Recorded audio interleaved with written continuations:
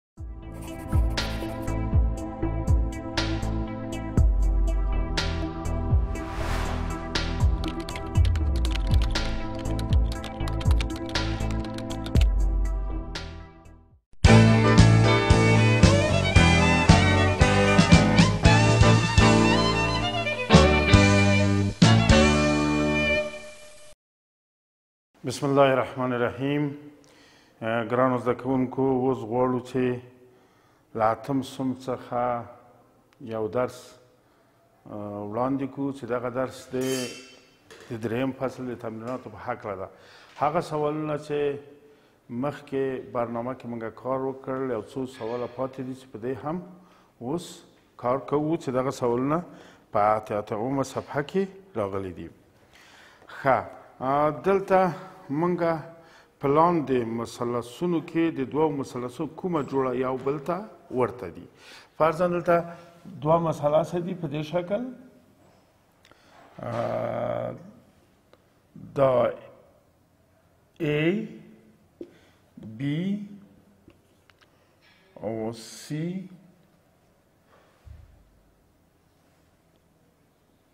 ډي ای ښه دا نو شته ده یو صحیح یو پر شپږو دوه صحیح یو پر دریو یو صحیح یو پر دوو او دوه صحیح یو پر دوو ښه یو جز به حل کو دلته نوشته دي چې دغه دواړه مثلث آیا د ای بی سی مثلث متشابه له ډي سی ای سره ده کنه ده ښه تشابه کې خو موږ ولوستل چې که درې ځله د یو مثلث له درې ځله د بل مثلث سره متناسبې وي دغه دواړه مثلثونه متشابه دي او بل شرط یې دا ده که چیرې دوه زاویه یا درې زاویې مساوي وي دا دواړه هم مثلثونه متشابه دي بل شرط دا ده چې که چیرې دوه زاویې دوه ځلې متناسبې او مابیني زاویې سره مساوي وي دوه ځلې متناسبې د یو مثلث له دوه ځلو د بل مثلث سره متناسبې وي او دغه دوه ځلې حتما یو زاویه تشکیلوي او دا بل مثلث کې هم یو زاویه تشکیلوي دغه زاویه د مابیني سره مساوي وي په د هغه صورت کې موږ ویلای شو چې دا دواړه مثلثونه متشابه دي نو دغه شرطونه موږ په دې مثلث کې تعقیبوو دغه شرطونه موږ ګورو موږ ګورو چې دغه دوه دغه مثلث کې ای بی سی مثلث ډي سی ای مثلث کې دا دوه مثلثونه دغه یو زاویه مساوي ده له دې زاویې سره یوه زاویه د ده مسله سره یو زاویه د سره مساوي ده چې دلته که سی زاویه د یک وي زاویه د دوه وي سی یو مساوي کېږي له سی دوه سره یعنې زاویه د یو مساوي له زاویه د دوه سره ده ښه بل زاویه خو مونږ ته شرط نه راکړه چې دا دې سره موازی دي مونږ ګورو چې دغه ازلاوې سره متناسبې دي کنه دي که دا ازلاوې دغه دوه ځلې راکړل شوي دا زاویه د مابیني راکړل شوې که چیرې دا دواړه متناسبې وي په هغه صورت کې حکم کوو چې مثلثونه چی دي مثلثونه متشابه دي او که نه و متشابه نه دي ښه دلته مونږ ګورو دوا سعی یو پر دریو په دې مثلث کې غټه زله ده په دې مثلث کې یو سعی یو پر دواو غټه زله ده نسبت یو سعی یو پر شپږو دوا سعی یو پر دریو تقسیم په یو سعی یو پر دوو کوو غټه زله د دې مثلث تقسیم د غټې زله د دې وروسته لکه چې غټه ده فرضاً غټه متوسطه زله تقسیم د متوسطه زله د دې کېږي ښه اوس دلته ګورو په دې مثلثونو کې په دې مثلث کې دوه سه یو پر درې دوه سه یو پر دوه و غټه زله ډېرو پکې غټه زله کومه زله ده دوه سه یو پر دوه و ده دوه سه یو پر دوه و تقسیم دا دوه سه یو پر درې نه دوه سه یو پر دوه غټه ده کنه ځکه دوه خو سره مساوي دي یو پر درې غټي کې په دوه کسرونو کې هغه کسر غټ دی چې مخرج وړه کوي پس یو پر دوه غټ زله ده دوه سه یو پر دوه غټه زله ده که په دې دوه زلو کې ګورو چې کومه زله غټه ده یو سه یو پر دوه یو سه یو پر شپږ دم هم یو سه یو پر دوه غټه ده دا مساوي که چیرې له غټه زله ده تقسیم د غټه زله ده دا وروسته لغه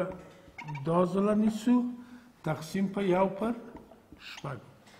که چیرې دغه مساوات صدق که نو موږ ویلای سو چې دوی زلې له دوی زلې سره متناسب زاویه د مابینې مساوي ده منګه لرو دلته مخکې لغه څه سي دا غیر واجبه وو دو او دو څلور څلور پنځه پر دوه وو دا کېږي او دوه درې پر دوه وو و دا په لام دوه درې شپږ شپږ یو و پر درې وو دلته کېږي یو شپږ شپږ شو و پر شپږو کېږي دوه درې شپږ شپږ ضرب دي غیر واجب دا زرد مخرج جمع صورت په صورت د کسر په سابقه مخرج نوشته کیږي دوه درې شپږ شپږ یا و و پر درې و یا شپږ شپږ شپږ یا و پر شپږ و دلته څلور پنځه پر دوه و درې پر دوه وو ښه په دې صورت کې دا کولای شو موږ ټاکو پنځه پر دوه وو ضرب دا کسر اول کسر په خپل حالت دویم کسر معکوسي کې دوه پر درې وو و پر درې وو شپږ پر وو ښه دلته دغه دوه له دوو سره خلاص دا کېږي پنځه پر درېو دا اووه له اوو سره خلاص یو درې درې دوه درې شپږ دا کېږي دوه نو دلته ګورو چې دا مساوي نه دي ځکه بیا هم دلته دا دوه زلې ګورو کومه زلی غټه ده دوه سه یو پر دوه دا زله غټه ده ځکه چې مخرج وړه کای ده په دې دواړو کې دا زله غټه دوه سه یو پر دوه تقسیم په یو پر دوه سه پنځه پر دوه درې پر دوه دا کې پنځه پر درې وو ښه وروسته له هغه کومه زله د دې مثلث نیسو دوه سه یو پر دوه دوه سه یو پر درې وو تقسیم ته دوه سه یو پر شپږو کوو دوه سه یو پر دې تقسیم دی یو سه یو پر شپږو دا کې دوه درې شپږ و پر درېو دا کې و پر شپږو څه دا معکوس شي کې شپږ پر وو او دا ول و سره خلاص کې دوه پر درېو البته دوه پاتې کېږي پنځه پر درېو مساوي نه دي له دا مسئله کېدای نسی پس دا دواړه مثلثونه چای دي متشابه نه دي ځکه چې اضلاع متناسبې نه دي ښه که چیرې موږ دلته بل مثال کې ولرو چې یو بل مثال هم دلته سته په همدې شکل راکړی نوشته دي چې دوه مثلث دي په دې شکل دلته یې مونږ ته راکړي دا پنځه پنځه دا ځله درې درې آیا دا دواړه مثلثونه متشابه دي او که نه دي ښه دلته بیا هم مابیني زاویه متقابل بر از دا زاویه له دې زاویې سره مساوي ده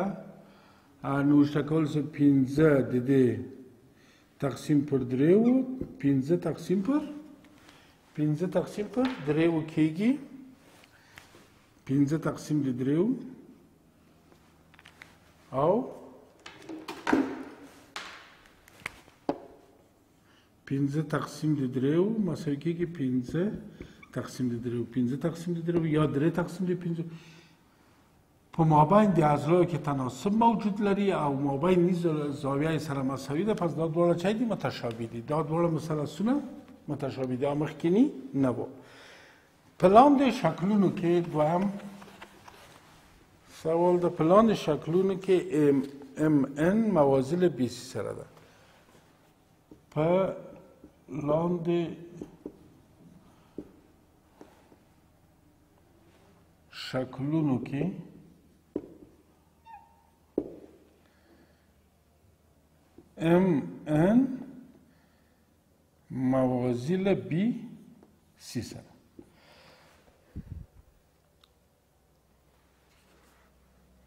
پلان شوی بیم ورته دی او ورته متشابه دی د تالس د قضیه په کارولو سره اکس پیدا کړئ د تالس د قضیه په کارولو کارولو سره x پیدا کړئ ښه البته دلته مونږ داسې هغه لرو دا A B C دې نقطې ته M دې نقطې ته N له دې ځایه ته دې ځایه څلوریشت ده دغه قیمت اکس ده پنځلس ده دا قیمت دا یویشت ده پلان شکلونی که ام ان موازی له بیسی سره ده ښه او ورته دي یعنی په دې معنی چې دغه ای ام ان ای بی سی سره متشابه دي ښه وخت چې ام ان موازی له بی سی سره یی دلته قضه دی تالس موږ تطبیقوو چې ای ام یا که په شکل د ساده نوشته کو اکس ای ام تقسیم په ام بی مساوی کیږي ای ان تقسیم په ان سی په هر مسئله است که که یوه ضلع چې له یوه ضلع له یو خط سره موازي وي چې دوه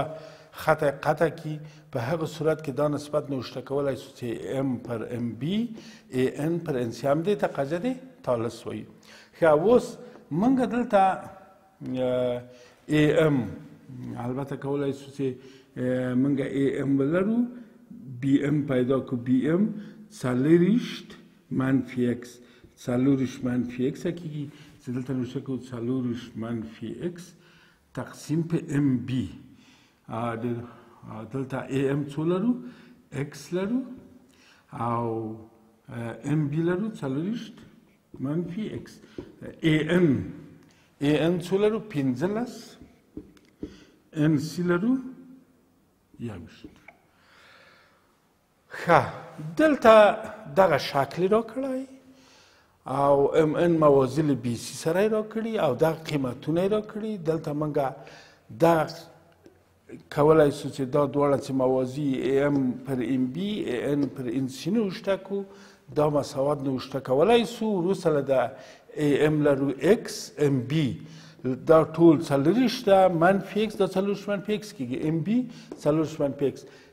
ای ان پنځلس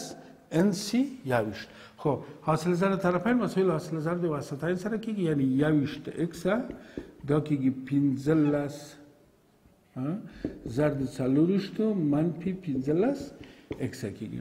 ښه پنځلس ایکس چې دا پلو راغله کیږي پنځه یو شپږ شپږ دېرش سکسه او پلا پنځلس ضرب د څلورشتو پاتې کېږي که ضرب کوم فرق نه کوي اکس مساوي کېږي پنځلس ضرب د څلورشت تقسیم په شپږ دېرشو ښه دا په څو قابله تقسیم ده په درېو پنځه درې پنځلس یو درې دوه درې شپږ یو دولس دولس دوه دولس څلورشت اکس مساوي کېږي لس ښه دلته چا د طلب کارول د اکس قیمت پیدا سو او دغه قیمت موږ دلته پیدا کړ ښه په مخ هم ښه سنه نننی درس پای ته ورسه د خدای په امان